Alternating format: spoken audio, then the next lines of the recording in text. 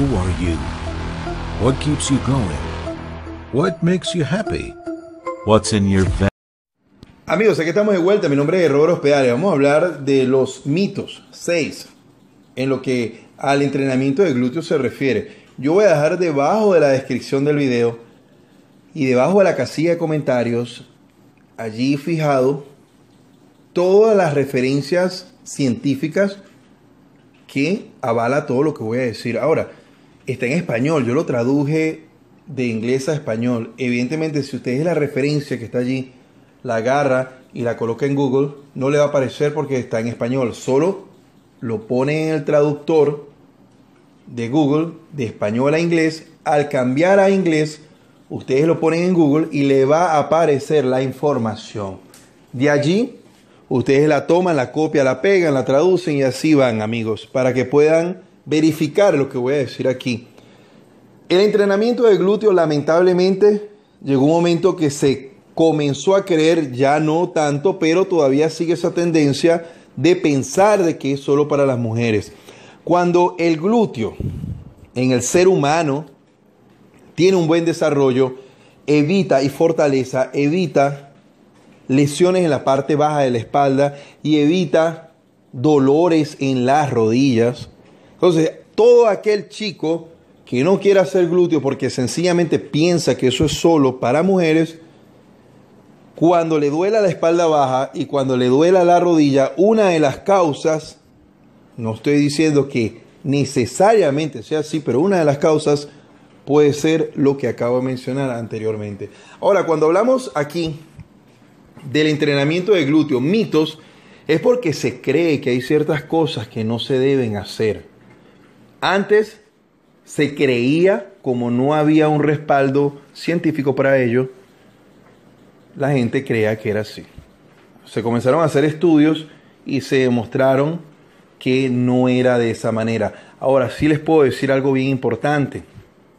Recuerden que no siempre los estudios son 100% allí en la cual uno pueda decir que hay una probabilidad de que sea como dice el estudio, un 100% de efectividad.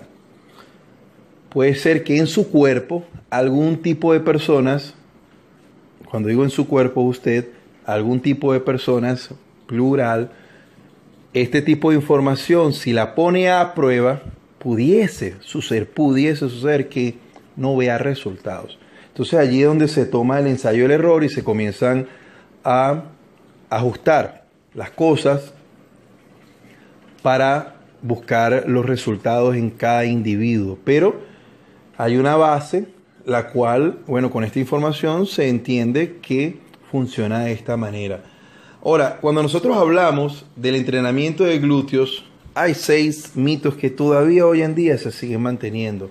El primero es, el glúteo es un músculo de contracción rápida y por ello debe ser entrenado con pesos nada más pesados. Resulta, amigos, que el 65% de lo que es el glúteo máximo es de contracción lenta. El resto es de contracción rápida. Mientras que en otros estudios se consiguió, amigos, y esto es algo bien importante, porque va a depender de ciertos individuos en la cual hay algún tipo de personas que tiene un 52% de contracción lenta y un 48% de contracción rápida. Entiendan ello, no todos nosotros tenemos las mismas estructuras corporales y eso es algo que está complicado explicar y hay gente que se le explica y no termina de entender ello. Ahora, cuando se habla de contracción rápida y contracción lenta, significa que hay un tipo de fibra, y es lo que se dice aquí, la de contracción rápida responde a pesos pesados, la contracción lenta responde a pesos livianos, altas repeticiones. Cuando se trabaja con pesos pesados, bajas repeticiones. Entonces, allí, debajo de la, lo que es uh, la casilla de comentarios y la descripción del video, van a conseguir ustedes los estudios científicos que avalan eso y ustedes allí pueden más o menos ir jugando con la información. Otra cosa bien importante que quiero decir, y es el segundo mito, las sentadillas, es el rey de los ejercicios de glúteos. Realmente ya se demostró que no es así. ¿Por qué? Amigos, en el 2006 el Consejo Americano de Ejercicio financió el único experimento integral de entrenamiento de resistencia que examinó la actividad electromagnética de los glúteos.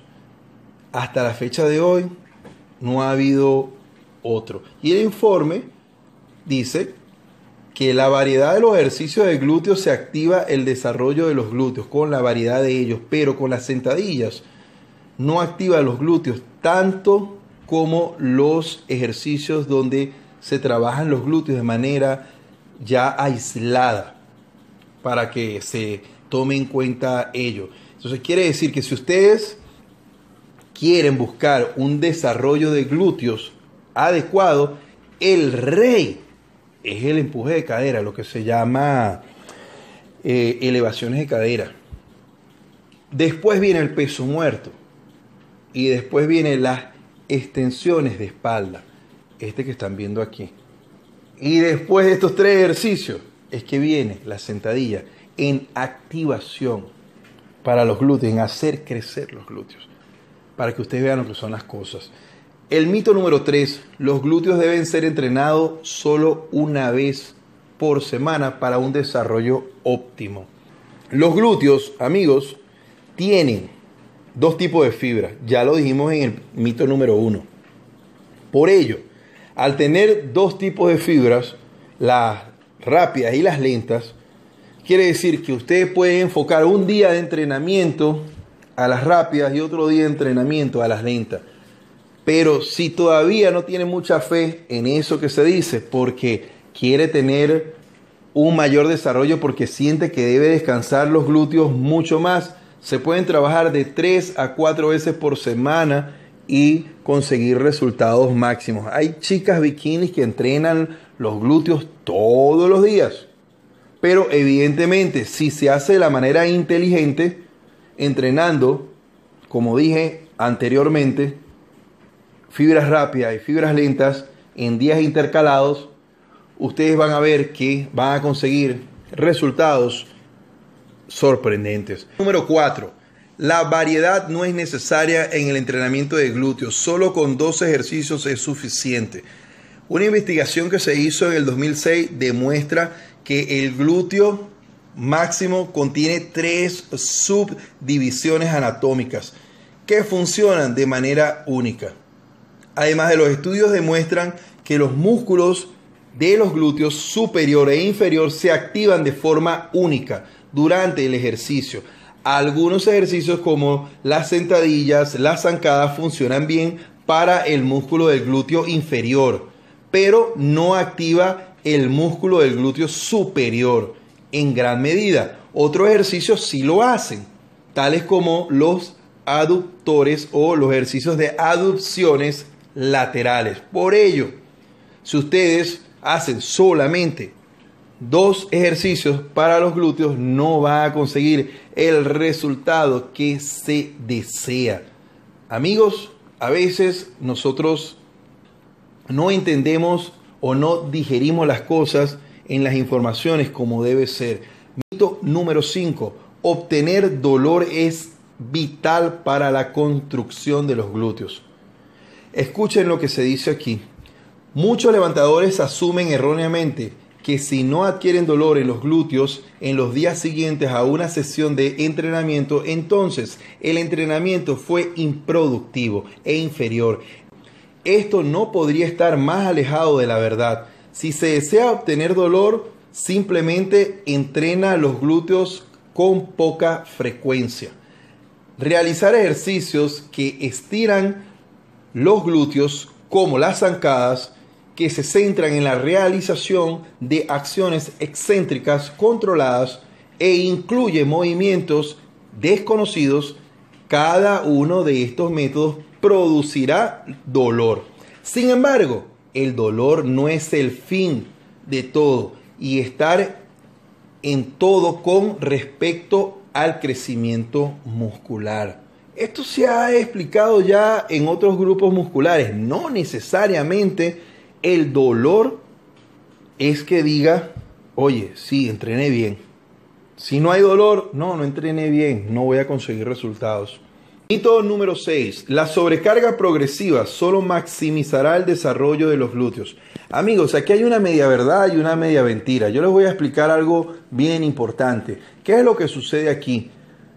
Es cierto una cosa, pero si nosotros ponemos allí en riesgo lo que es la buena forma del ejercicio, incrementar la fuerza de él o tratar de incrementar el peso, para conseguir resultados, ¿qué es lo que va a suceder allí? Se va a perder la forma y no siempre, amigos, hay gente que consigue resultados no con una muy buena forma allí al hacer el ejercicio.